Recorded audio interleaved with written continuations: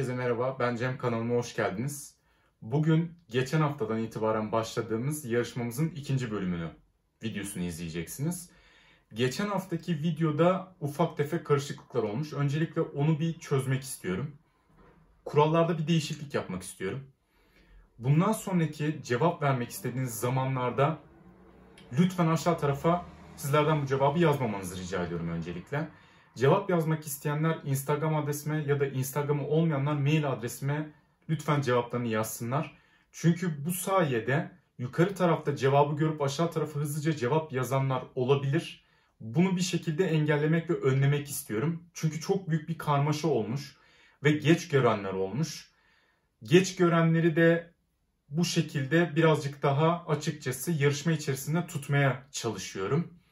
Geçen hafta ıssız adam cevabını yazan herkesin cevabını doğru bir şekilde kabul ettim. Hatta geç kaldım, cevabı biliyordum. Yazanların cevaplarını bile kabul ettim. Çünkü benim hatam oldu. Açıkçası geçen hafta ısınma gibi oldu hepimiz için. Benim için de öyle. Sizleri birazcık zorlayacağını düşündüm ancak 3. dakikada doğru cevap gelince açıkçası birazcık şaşırdım. Çünkü bu kadar hızlı ve efektif bir hatırlama beklemiyordum. Ancak böyle olması beni sevindirdi. Çünkü dikkatli olan izleyiciler, takipte olan izleyiciler varmış. Ve ben de bununla birlikte birazcık yarışmayı zorlaştırmaya karar verdim. Okuduğum ve sadece okuyanların bilebileceği tarzda açıkçası sorularla birlikte ilerlemeye devam edeceğiz. Sizlerden söylediğim gibi tek ricam var. Lütfen aşağı tarafa cevap yazmayın. Cevaplarınızı Instagram adresime mutlaka açıklamalar kısmına aşağıya bırakırım. Ya da mail adresime yine onu da aşağıya bırakırım. Oraya yazmanızı sizlerden rica ediyorum. Gelelim ikinci haftamızın sorusuna.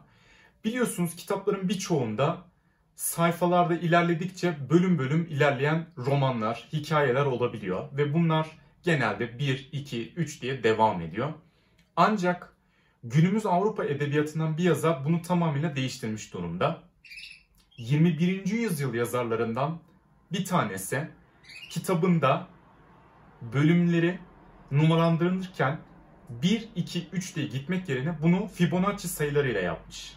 Sizlere bu yazarı ve hangi kitabı olduğunu soruyorum.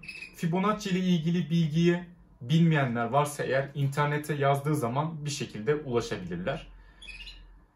Şimdiden yarışmaya katılacak olan herkese bol şans diliyorum. Tekrar yineliyorum. Lütfen aşağı tarafa cevaplarınızı yazmayın.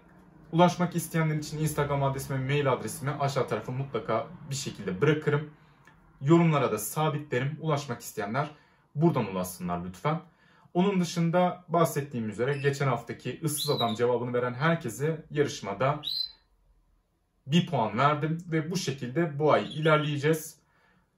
Güzel sürpriz hediyeler olacak. Aklımda çok güzel fikirler var. Şimdi bunlardan size bahsetmek istemiyorum. Videoyu izleyen, yarışmaya katılan herkese şimdiden çok teşekkür ediyorum. Herkese bol şans diliyorum. Bir haftaki sonraki videoda görüşmek dileğiyle. Kendinize iyi bakın. Hoşçakalın.